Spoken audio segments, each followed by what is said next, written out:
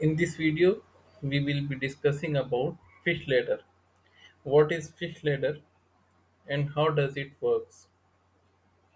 Actually, there are a number of fishes known as anadromous fishes which migrate from upstream to downstream.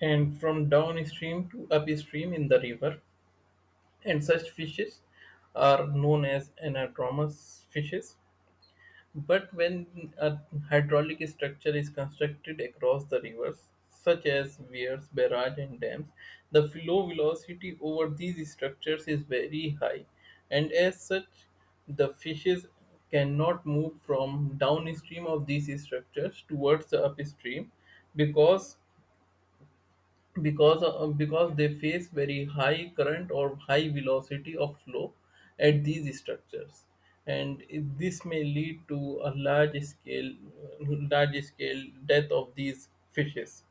So to facilitate the movement of fishes through these hydraulic structure a special arrangement is made which is known as the fish ladder. In the fish ladder, the objective is to reduce the flow energy or dissipate the energy by constructing number of obstruction in the path of the flow in a staggered manner so that within a short reach we can reduce the velocity or the kinetic energy of flowing water to a larger extent so that fishes may overcome the flow velocity and they can easily move from downstream of such structures to the upstream of the structure. Uh, in this way, we develop a mm, fish ladder.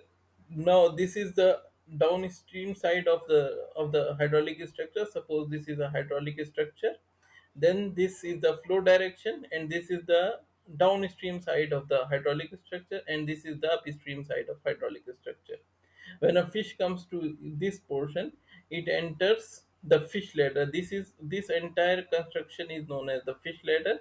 It enters the fish ladder from here and as you can see there are number of staggered obstruction within this hydraulic structure. So when flow is coming from upstream to downstream the fish is moving from downstream to upstream. It is opposite to the direction of the flow. And when uh, due, due to this it it experiences a huge velocity or uh, or opposition to its movement. The fish uh, experiences this so now after constructing such hydraulic structure as you can see here, the flow will first uh, collide with this part and then move in this direction. Then again it will it will collide here. It will lose some energy and then it will move like that. So the so the the path of the flow has to be changed each time and as such it collides with the with the walls of these uh, fish ladder and due to this lot of energy is dissipated or the kinetic energy of flow is reduced and fish can easily move uh, from these structures uh, from this point that is from downstream towards the upstream using the fish ladder. And when this region in this region the flow velocity is low so it can easily reach here and then move further upstream So in this way, fish ladder is constructed to help the fish move from downstream to the upstream of hydraulic structures. In case of small dams, barrages, and weirs,